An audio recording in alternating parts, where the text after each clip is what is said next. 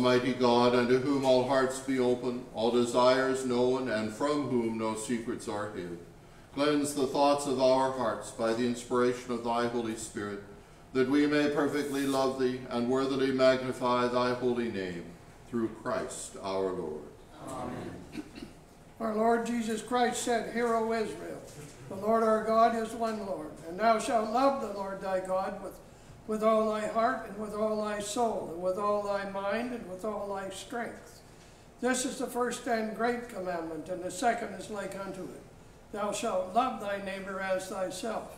On these two commandments hang all the law and the prophets. Lord, have mercy upon us, and write both these thy laws in our hearts, we beseech thee.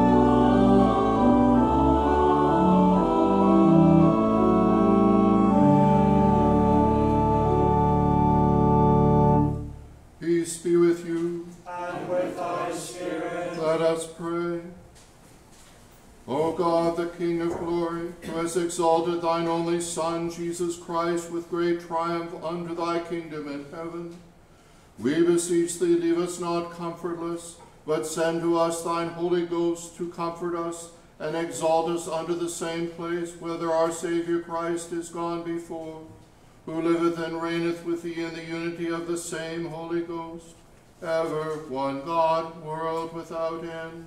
Amen. Let us pray. Grant, we beseech thee, Almighty God, that like as we do believe thine only begotten Son, our Lord Jesus Christ, to have ascended into heaven, so we may also in heart and mind thither ascend, and with him continually dwell, who liveth and reigneth with thee in the unity of the Holy Ghost, ever one God, world without end. Amen.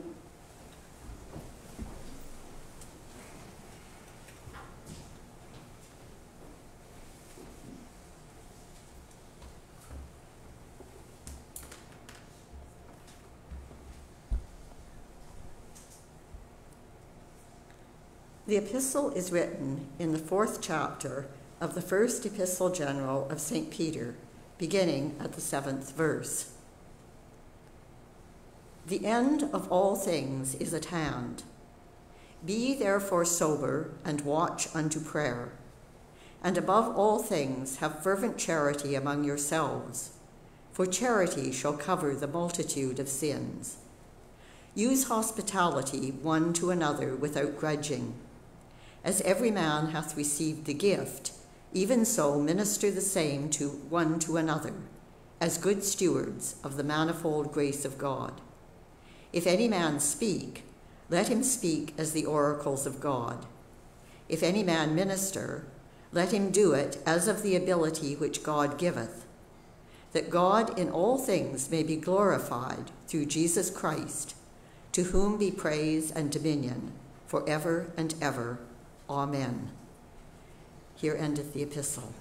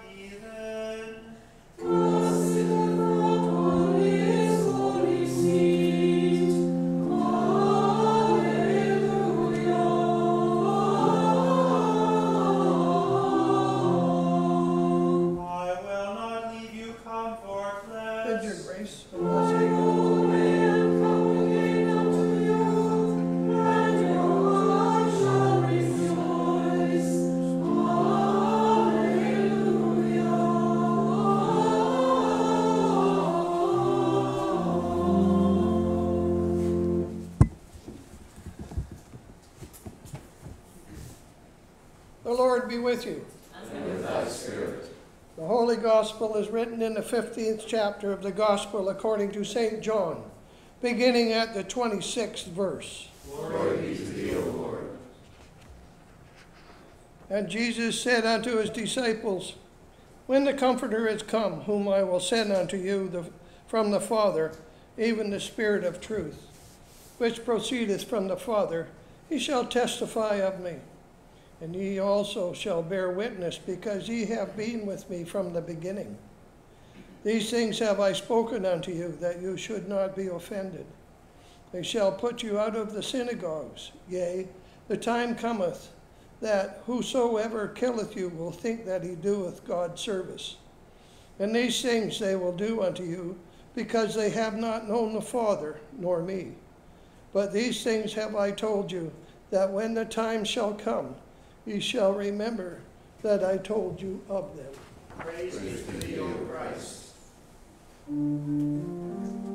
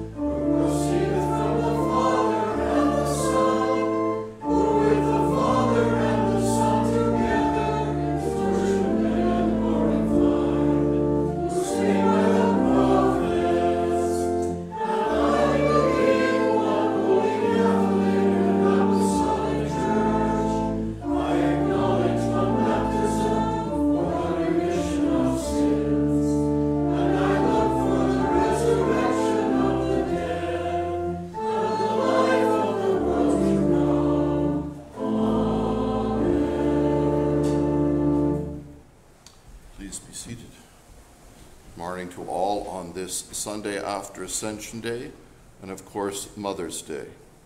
The holy mysteries are offered to the honor and glory of Almighty God in thanksgiving for the ascension of our Lord Jesus Christ and for the promise of the gift of the Holy Spirit in the hearts and lives of his faithful people. The Holy Eucharist we celebrate this week on Thursday at 10 a.m., and the study group will meet as usual on Thursday at 10:45 downstairs in the hall. We remember in our prayers today the sick, the sorrowful, the suffering, the dying, commending to God's mercy and care Keith Illingworth. I visited him again this past week, and I've also spoken with Pat, and we'll be seeing her this coming week. For Drew, Marianne, Ernie, Gary, Peggy, Susan Nichols, Suzanne, Margaret Johnson, Jeanette Minette, Tony, for His Majesty the King, the Princess of Wales, and all who are receiving treatment for or recovering from cancer, and all who have desired our prayers, unworthy as we are. We pray for Jo Kennedy, who, if my calendar is right, will be celebrating her birthday on Tuesday, that God may bless her with his grace and mercy as her years increase. Of your charity, I ask your prayers for myself as I celebrate the 27th anniversary of my ordination to the priesthood on Friday. You lucky people. So, and I pray that God may bless and guide me in my ministry among you. We continue in our prayers for, for peace in the world, particularly in the Middle East, for the end of the war in Ukraine, and prayer for all who are caught up in the violence and killing. We remember in our prayers the men and women of His Majesty's Canadian Forces serving at home and abroad, the men and women who serve as police officers and first responders, that God may bless and watch over them and their families. Finally, of your charity, I bid your prayers to the souls of the faithful departed, remembering especially Charles Williams, Elizabeth Littner, Les Richards, Claude Haywood, our mothers and grandmothers who have gone before us marked with the sign of faith, and all whose year's mind occurs at this time. Rest eternal grant unto them, O Lord. May they rest in peace. Would you please stand? Dearly beloved, next Sunday, which is Whit Sunday, the celebration of the day of Pentecost, I intend through God's assistance to celebrate the Lord's Supper and to administer to all such as shall be devoutly disposed the most comfortable sacrament of the body and blood of Christ. to be by them re- received in remembrance of his meritorious cross and passion, whereby alone we obtain remission of our sins and are made partakers of the kingdom of heaven. Wherefore it is our duty to render most humble and hearty thanks to Almighty God, our heavenly Father, for that he hath given his Son, our Savior Jesus Christ, not only to die for us, but also to be our spiritual food and sustenance in the holy sacrament which being so divine and comfortable thing to them who receive it worthily, and so dangerous to them that will presume to receive it unworthily, my duty is to exhort you in the mean season to consider the dignity of that holy mystery and the need of devout preparation for the receiving thereof, so that ye may come holy and clean to such a heavenly feast in the marriage garment required by God in Holy Scripture, and received as worthy partakers of that holy table. The ways and means thereto is first to examine your lives and conduct by the rule of God's commandments, and whereinsoever you shall perceive yourselves to have offended either by will, word, or deed, there to confess yourselves to Almighty God with full purpose of amendment of life. And if you shall perceive your offenses to be against your neighbors, then ye shall reconcile yourselves to them being ready to make restitution. Ye must also be ready to forgive others that have offended you, as you would have forgiveness of your offenses at God's hand. Therefore, if any of you be a blasphemer of God, a hinderer or slanderer of his word, an adulterer, or be in malice or envy, or in any other grievous crime, repent you of your sins, else come not to that holy table and because it is requisite that no man should come to the Holy Communion, but with a full trust in God's mercy and with a quiet conscience. Therefore, if there be any of you who by this means cannot quiet his own conscience herein, but requireth further comfort or counsel, let him come to me or to some other discreet minister of God's word, and open his grief, that by the ministry of God's holy word he may receive the benefit of absolution together with spiritual counsel and advice, to the quieting of his conscience and the avoiding of all scruple and doubtfulness. I, for my part, will be ready to celebrate the Holy Eucharist, and according to mine office, I call you in Christ's behalf to come to this heavenly feast. It is an easy matter for a man to say, I will not communicate because I have otherwise hindered with worldly business but such excuses are not so easily accepted before God. If anyone say, I am a grievous sinner, and therefore I am afraid to come, wherein there do ye not repent and amend? For as the Son of God willingly yielded up his soul by death upon the cross for your salvation, it is your duty to receive the Holy Communion in remembrance of the sacrifice of his death as he himself commanded. Wherefore I bid you in God's name, not to separate yourselves from your brethren, but to prepare yourselves and to come to feed upon the banquet of this most heavenly food.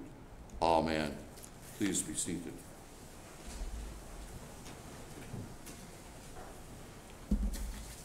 I speak to you in the name of the Father and of the Son and of the Holy Ghost. Amen.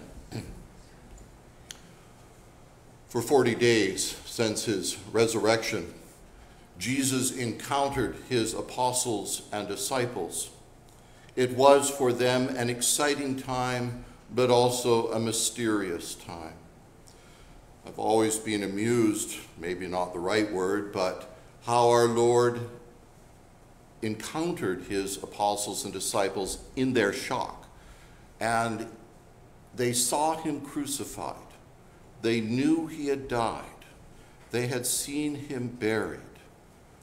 They knew he had promised to rise again, but there was still that element of doubt, that element of hope within them. And then he appears behind locked doors. He appears to them walking on the road to Emmaus. My favorite one is they're Peter and John and James, they're fishing. It's early in the morning. They look over on the shore. Somebody's making breakfast. And they look closer. It's Jesus. Peter is so enthused that he jumps out of the boat and swims to shore. And they're still amazed. But Jesus gives them food that which is fundamental to all hospitality. So, people, there's the old saying in sickness, you bring flowers, in death, you bring food. And that is part of it. They were consoled. There was something ordinary about that. We read, of course, that uh, in the as he gathers with his apostles, they're shocked again. They, they just are trying to comprehend this. And what does he say? Do you have any food? You can almost imagine that eh, food, food. You, in this moment, yes, because he wants to ground them. He wants to ground them in reality and also to show them, as he says, I'm not a ghost, I'm not a phantom, I'm not something of your imagination in grief. I am real. I live. I am with you now. I will be with you always. And they're excited by, uh, by all of this for 40 days. And then he begins to shift as he prepared for them at the Holy Week, his passion and death and resurrection. So now he begins, he shifts, and he begins to tell them what's going to happen next. He is going to leave them again, at least physically. He's going to leave them. And he knows that's going to be once more a traumatic event for them. He promises them in Scripture, I will not leave you orphans. The Greek of that word is hard to describe. Probably the better way would be to say, I will not leave you desolate. I will not leave you in despair. I will not leave you without hope. I will come again. And know that I am going to give you, as the gift of the Father, the gift of the Comforter. And when we think of that, their grief at his death, their astounding joy at his resurrection, and a bit of the renewal of grief, knowing he's going to go from them again. I'm going to send you the Comforter, the Father's gift, and it will be the gift, the Spirit of truth. And once more, he promises them, I am with you always, every moment of every day to the end of time. In St. Mark's Gospel, we read then these words The Lord Jesus, after he had spoken unto them, was received up into heaven and sat down at the right hand of God. And they're amazed.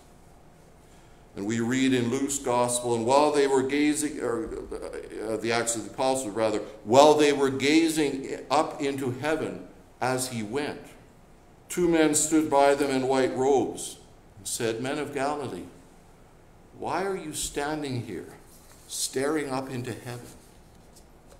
Understandably, the apostles were awestruck. They were caught in wonder. They were unable to go forward. Yet the Lord had called them to go forward. He had called them to mission and ministry. They're told to go to Jerusalem and to wait. Before Jesus had ascended to his Father, in St. Mark's Gospel, we have a larger portion of what Jesus said. We know this as his Great Commission the mandate, mission, or statement of the church. All authority has given to me in heaven and on earth. Go therefore and make disciples of all nations. Baptize them in the name of the Father and of the Son and of the Holy Spirit. Teach them to observe all that I have commanded you. And lo, I am with you always to the end of time. We can only imagine that transformation once more of the apostles. They see him ascend now into heaven. And 10 days later, as we will celebrate next Sunday, Pentecost, the gift of the Spirit, the gift of the truth that will reveal all things to them, will remind them of all things that Jesus said and did. They had experienced a great deal. It had been life altering, sometimes radical, sometimes traumatic, but certainly transforming. It would lead them to preach the gospel to the ends of the known world. it would embolden them even to sacrifice their own lives for the sake of the gospel. They were called to mission and ministry, not to stand there and stare, not to be frozen in grief, but to go forward in mission and ministry. And you and I, as the disciples today, we too are called to ministry and mission. We are called to be the ministers of Christ and the stewards of the mysteries of God. The world in which we live, the culture in which we witness to Christ crucified, risen, and ascended is really not that different from pagan Rome, which was a secular society. It was polytheistic and yet atheistic. It was one seeking salvation for itself, but it was at odds within itself. Our faith in the teachings, the grace, and the love of Jesus Christ makes all the difference as to who we are as people of faith. It makes all the difference in how we go about the call to mission and ministry. We have the words of eternal life. We have the means of the world's salvation. We have the faithful promises of Jesus Christ. We are men and women of faith. We are charged with the power and urgency of the Holy Spirit. We heard those words, the end is near. And it is. He is coming again. And this new reality, our life in the risen, ascended Christ, this urgency, that should be evident in our own lives. Like the apostles and the early disciples, we gather here, as they did in Jerusalem in the temple, we gather here in the house of God. We gather to be strengthened and renewed, but not to stand still, but to go forth, to spread the gospel of Christ, that good news of salvation. The words of the angels to the apostles at the ascending Men of Galilee, why do you stand here looking up into heaven? In the name of Christ, let us go forth in mission and ministry until the Lord comes again. In the name of the Father, the Son, and the Holy Ghost. Amen.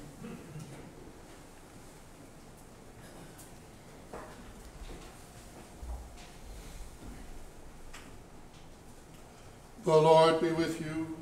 And with thy spirit. Let us pray. Praise the Lord, O my soul. While I live,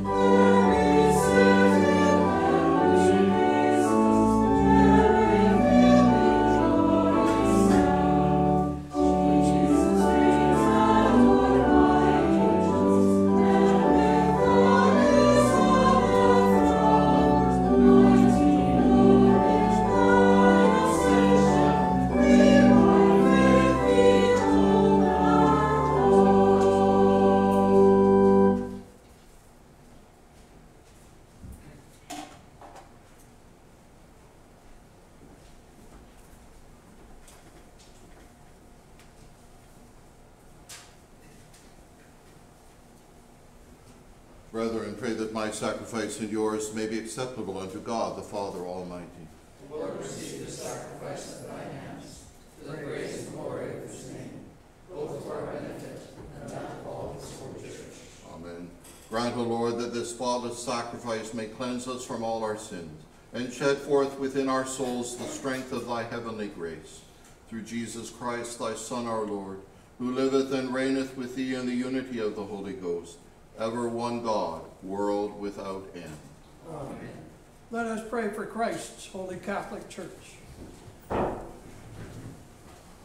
Almighty and ever-living God, who by thy holy apostle has taught us to make prayers and supplications and to give thanks for all men, we humbly beseech thee most mercifully to accept our alms and oblations and to receive these our prayers, which we offer unto thy divine majesty. Beseeching thee to inspire continually the universal church with the spirit of truth, unity, and concord, and grant that all they that do confess thy holy name may agree in the truth of thy holy word and live in unity and godly love. We beseech thee also to lead all nations in the way of righteousness, and so to guide and direct their governors and rulers, that thy people may enjoy the blessings of freedom and peace. And grant unto thy servant Charles our King, and to all that are put in authority under him, that they may truly and impartially administer justice to the maintenance of thy true religion and virtue. Give grace, O Heavenly Father, to all bishops, priests, and deacons, especially to me, thine unworthy servant, and those bishops in communion with me, that they may, both by their life and doctrine, set forth thy true and living word, and rightly and duly administer thy holy sacraments. Prosper, we pray thee, all those who proclaim the gospel of thy kingdom among the nations. And to all thy people give thy heavenly grace, and especially to this congregation here present, that with meek heart and due reverence they may hear and receive thy holy word, truly serving thee in holiness and righteousness all the days of their life. And we most humbly beseech thee of thy goodness, O Lord, to comfort and succor all them who in this transitory life are in trouble, sorrow, need, sickness, or any other adversity, especially those for whom our prayers are desired. We remember before thee, O Lord, all thy servants departed this life in thy faith and fear.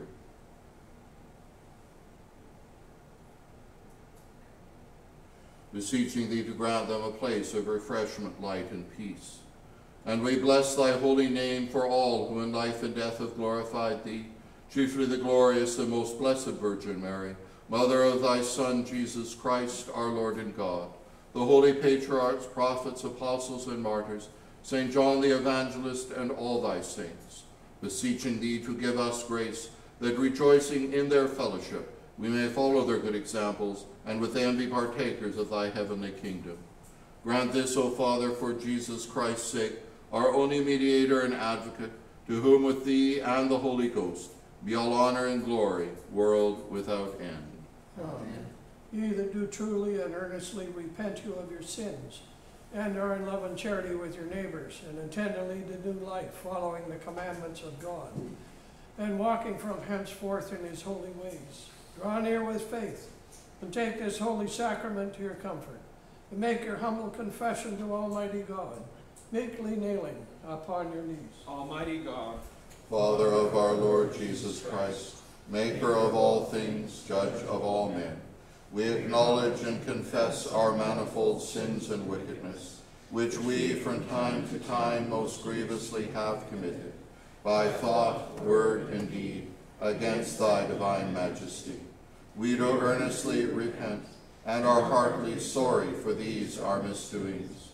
Have mercy upon us, most merciful Father. For thy Son, our Lord Jesus Christ's sake, forgive us all that is past, and grant that we may ever hereafter serve and please thee in newness of life, to the honor and glory of thy name, through Jesus Christ our Lord. Amen.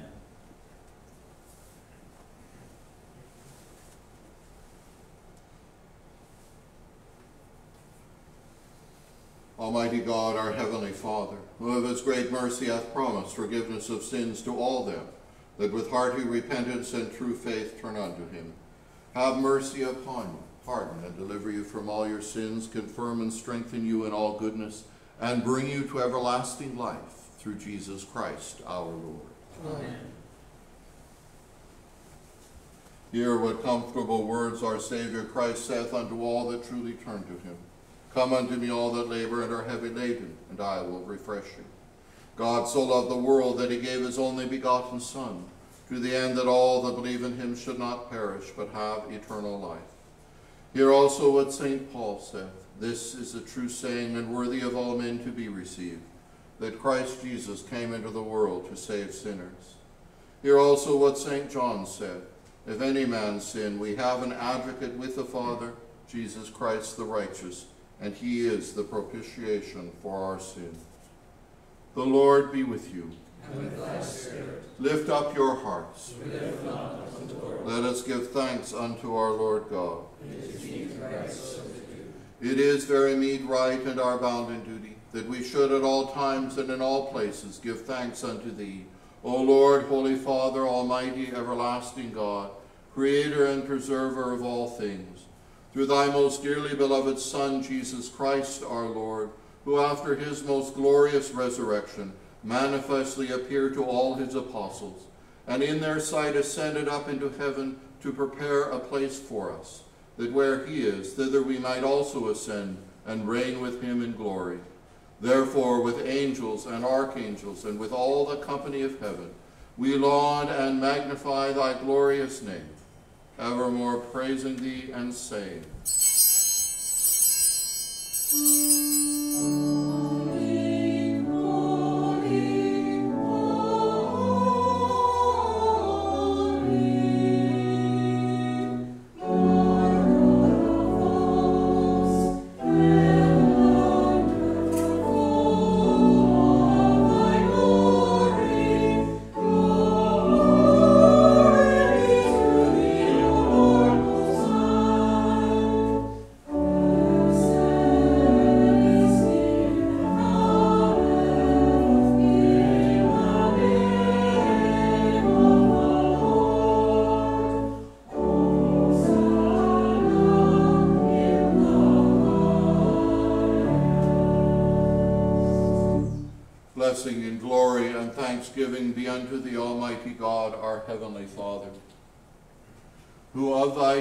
mercy didst give thine only Son, Jesus Christ, to take our nature upon him, and to suffer death upon the cross for our redemption, who made there by his one oblation of himself once offered, a full, perfect, and sufficient sacrifice, oblation, and satisfaction for the sins of the whole world and did institute and in his holy gospel command us to continue a perpetual memorial of that his precious death until his coming again. Hear us, O merciful Father, we most humbly beseech thee, and grant that we, receiving these thy creatures of bread and wine, according to thy Son, our Savior Jesus Christ, holy institution, in remembrance of his death and passion, may be partakers of his most blessed body and blood, who in the same night that he was betrayed took bread. And when he had given thanks, he it, and gave it to his disciples, saying, Take, eat. This is my body, which is given for you. Do this in remembrance of me.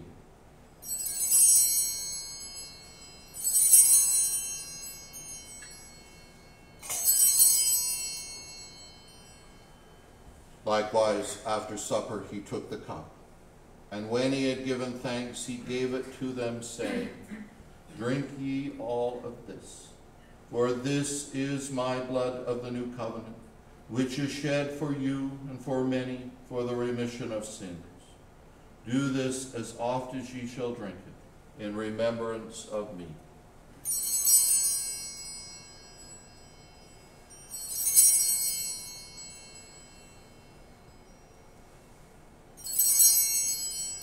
Wherefore, O Father, Lord of heaven and earth, we, thy humble servants with all thy holy church, remembering the precious death of thy beloved Son, his mighty resurrection and glorious ascension, and looking for his coming again in glory, do make before thee in this sacrament of the holy bread of eternal life and the cup of everlasting salvation, the memorial which he hath commanded.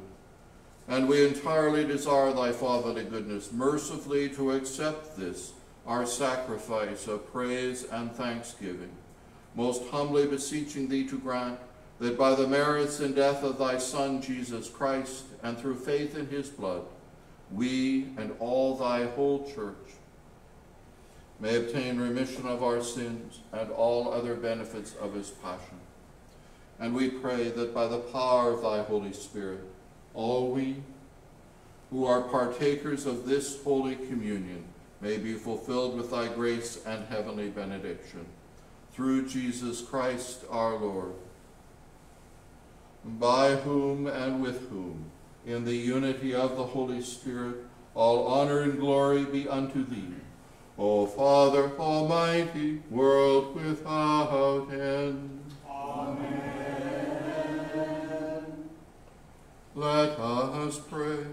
As our Savior Christ hath commanded and taught us, we are bold to say, Our Father, Who art in heaven, hallowed be thy name. Thy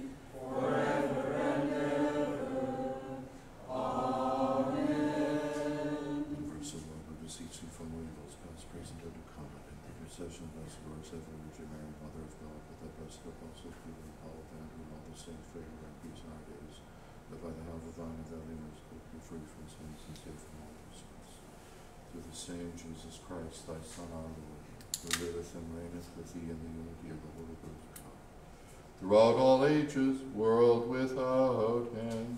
Amen. The peace of the Lord be always with you. And with thy spirit.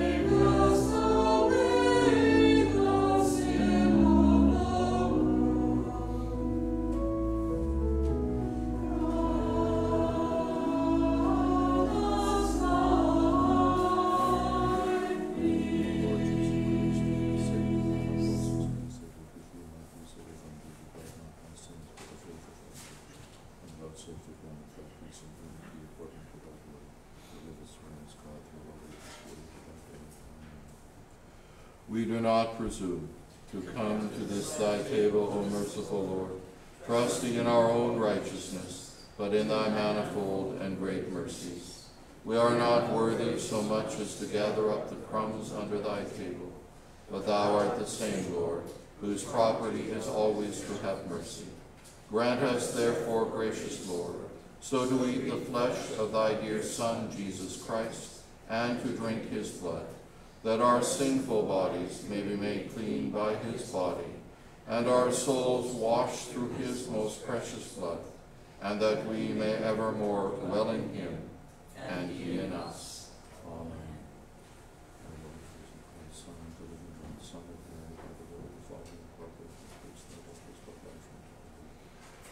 Jesus Christ, Son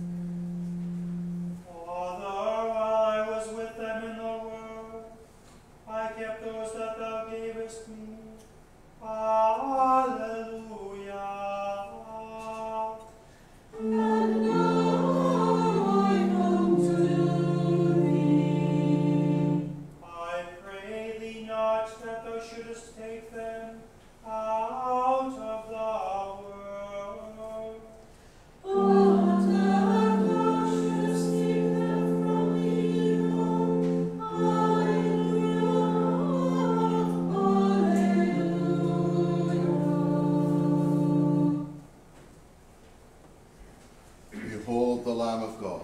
Behold him that taketh away the sin of the world.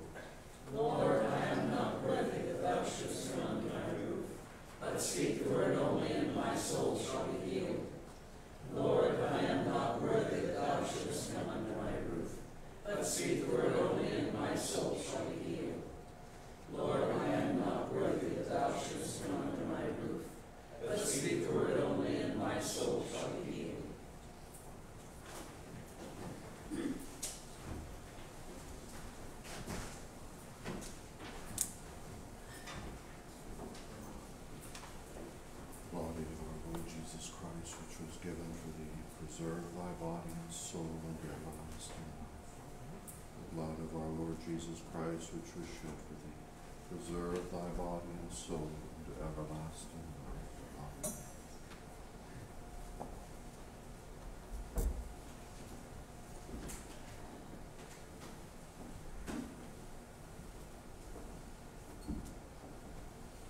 the body of our Lord Jesus Christ, which was given for thee, preserve thy body and soul unto everlasting life. Amen. The body of our Lord Jesus Christ, which was given for thee, thy body and preserve thy body and soul unto everlasting life. and remembrance of Christ's blood. Bless The body of our Lord Jesus Christ, which was given for thee, preserve thy body and soul unto everlasting life. The body of our Lord Jesus Christ, which was given for thee, Uh, preserve thy body and soul everlasting. The body of our Lord Jesus Christ, which was given for thee, preserve thy body and soul everlasting. The body of our Lord Jesus Christ, which was given for thee, preserve thy body and soul everlasting. God the Father, God the Son, God the Holy Ghost, bless, preserve, and keep thee now and always. Amen.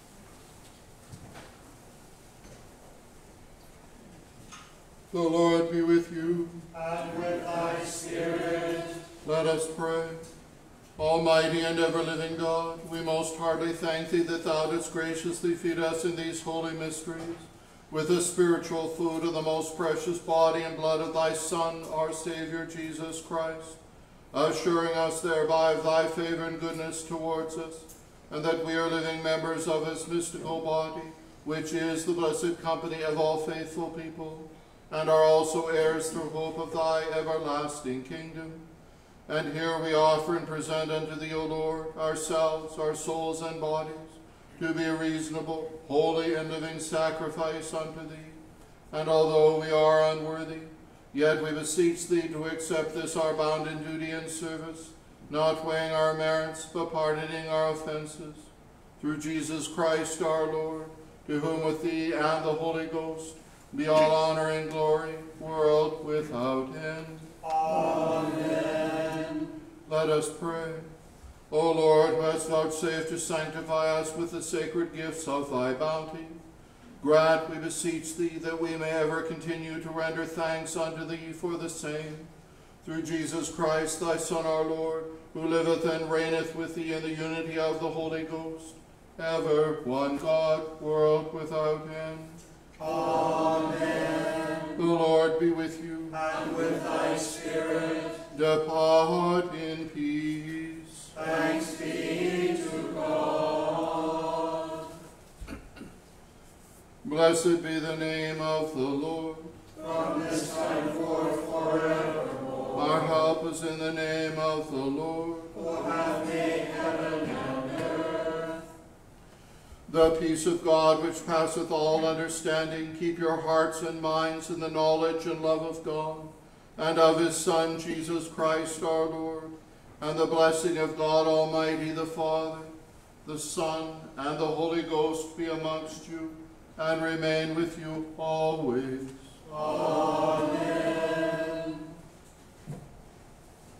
Bring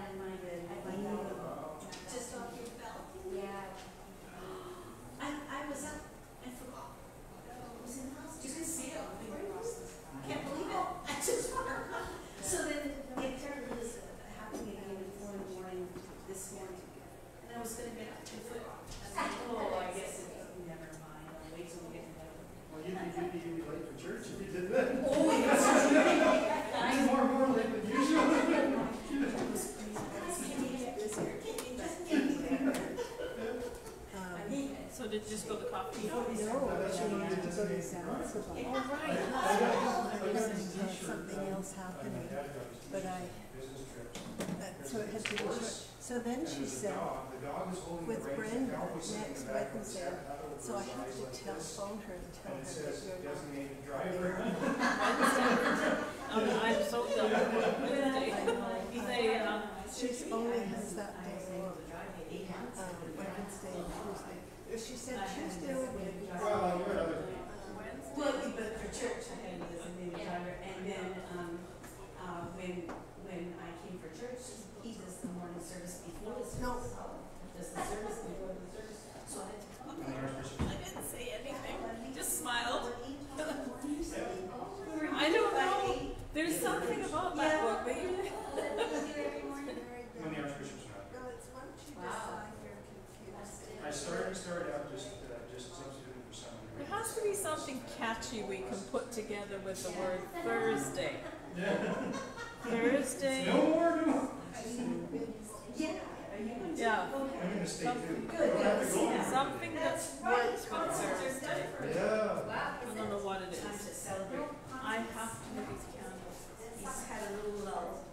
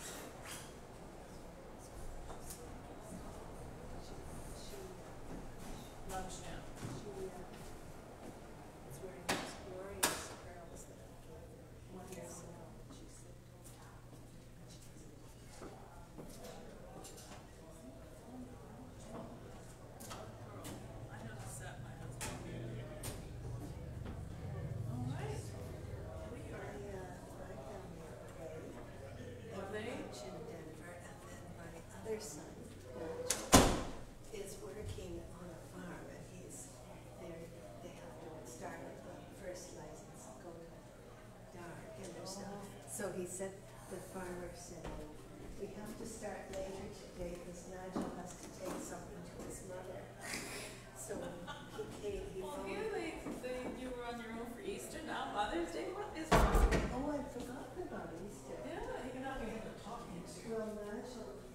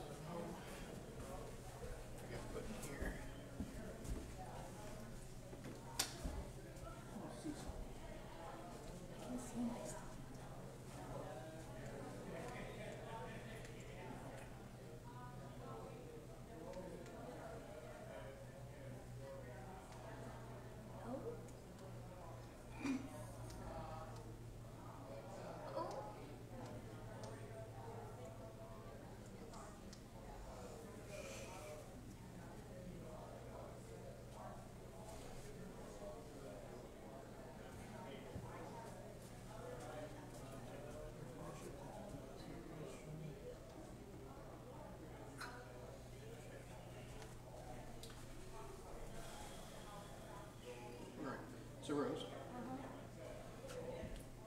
what you'll do is come here first, you take the remote control, uh -huh.